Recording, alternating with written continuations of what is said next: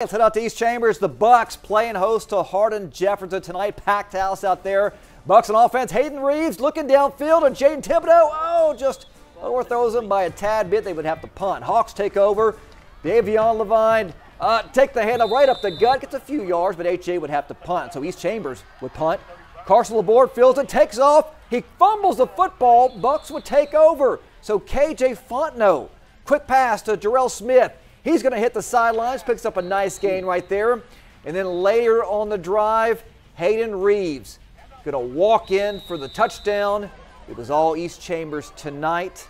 We go to the scoreboard late fourth quarter, 28 to 6.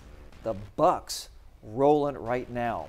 Always a really strong offensive team. Love to watch the Buccaneers play. They like to do a lot of things. They like to run. They like to throw. Yeah, you know they had a, they had a tough game with the the Rice Bowl last week That's at right. Hamshire Fannett, but Hamshire Fannett has been just uh, playing out of their mind. They've been rolling on everybody.